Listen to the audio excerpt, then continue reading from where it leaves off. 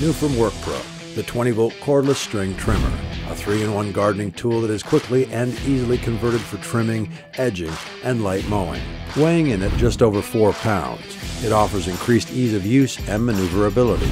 It features an automatic feeding spool with a 12 inch cutting width, along with a dual access rotating head, telescoping pole, and adjustable handle that adapts to each task and helps accommodate users of varying heights. The kit includes one 2 amp hour battery with easy read charge indicator for a generous runtime and a 1 hour fast charger. WorkPro. Build a better project.